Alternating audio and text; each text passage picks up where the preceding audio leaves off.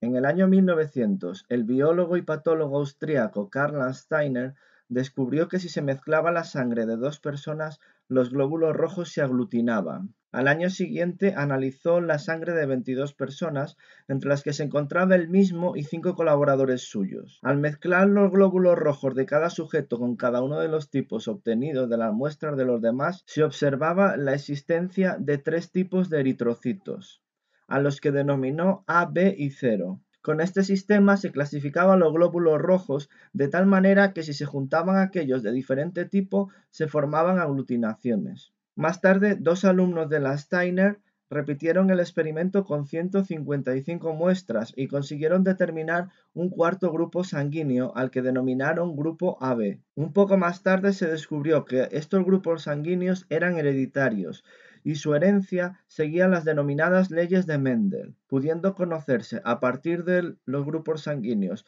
de los antecesores los grupos sanguíneos de los descendientes. Un antígeno es cualquier sustancia que nuestro organismo considera extraña y ante la que desarrolla una reacción inmunitaria. Un anticuerpo es una proteína producida por nuestro sistema inmunitario para luchar contra dichos antígenos. El sistema AB0 clasifica los eritrocitos según los antígenos que posean en su membrana celular. De este modo, el grupo A posee los antígenos A y produce anticuerpos contra los antígenos B. El grupo B posee los antígenos B y produce anticuerpos contra los antígenos A. El grupo AB posee los antígenos AB y no produce anticuerpos contra los demás grupos.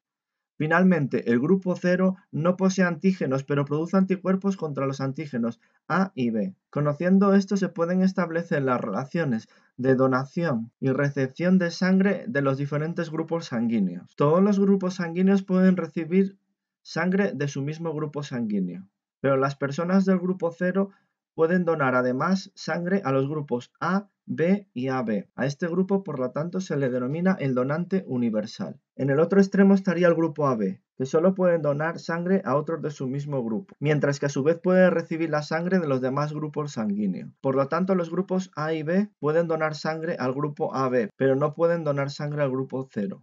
Si se junta la sangre de dos grupos diferentes incompatibles, se produce una reacción inmunológica grave que puede ocasionar la muerte. En 1922, Landsteiner viajó a Estados Unidos y empezó a trabajar con el médico estadounidense Alexander Salomon Wiener. Juntos descubrieron un nuevo antígeno en los glóbulos rojos, al que se llamó factor RH. Este nombre proviene del mono rhesus, del cual se habían obtenido antígenos con los que se inmunizaron a un grupo de conejos. De ahí viene el nombre de factor rhesus o RH. Aquellos individuos que poseen RH negativos pueden donar sangre a RH negativos y positivos.